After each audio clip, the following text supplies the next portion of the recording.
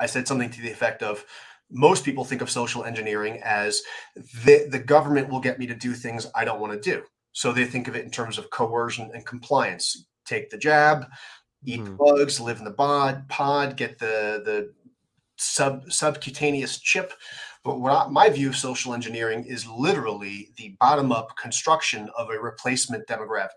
So we're talking about from the fetus to to uh, I wish I had a clever way to end that analogy. From the fetus to I, I don't know the the the judge seat to the head of law enforcement to Fox News, whatever. You, you created the people from the ground up by decimating the the actual social infrastructure that they already had.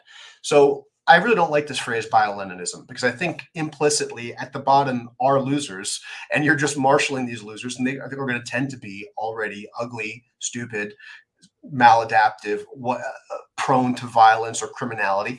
Uh, and so the bio is already implicit there. Um, but the reason I bring that up is you if, if you want to go with that phrase bio-Leninism, then we can take that a step further and saying that through, for example, the uh, the, continent-wide implementation of a program of uh, uh, um, sexual impropriety, whether that's through divorce or um, uh, having flings, cheating, uh, that kind of thing.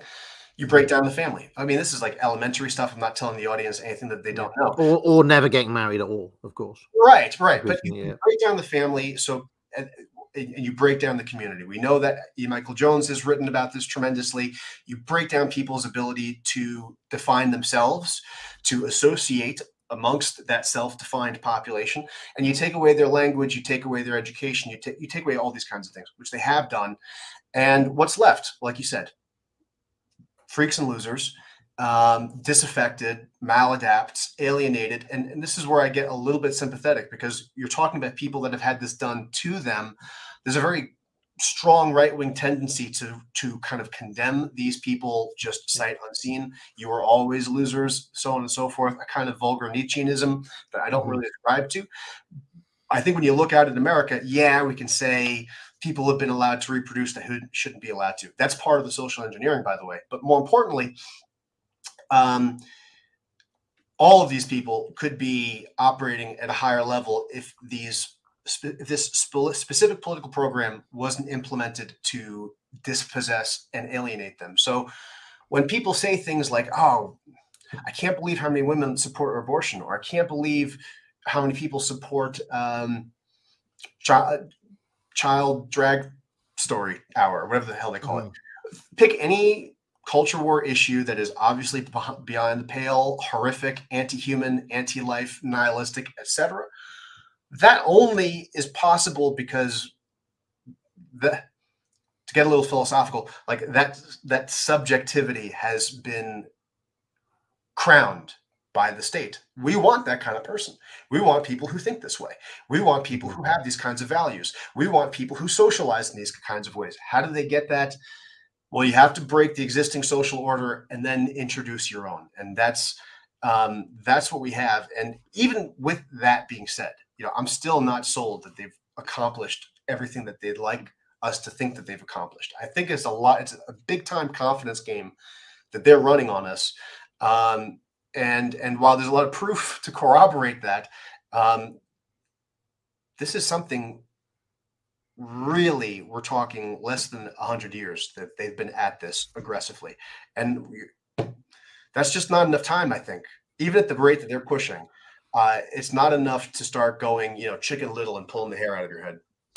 Well, I mean, the I, am just looking at the the recent American transgender stats, and between 2017 and 2022, so five years, the trans youth population has doubled. It's gone from being 0.7% of 18 to 24 year olds now it's 1.4%. Sorry, 1.4% of 13, 13 to 17 year olds, and 1.3% of 18 to 24 year olds identify as transgender. So we're talking like just more than one in a hundred, which is quite a lot. Um, but the you see the thing that disturbs me more is not these it's not so much the full on you know i identify as transgender it's actually like the the average man or the average woman because it, i mean it strikes me that just the normal 18 or 19 year old woman for example is masculine and the normal i mean my, my, my wife just casually said to me the other day she said is it just me or like young men like getting gayer? Like are they getting more effeminate?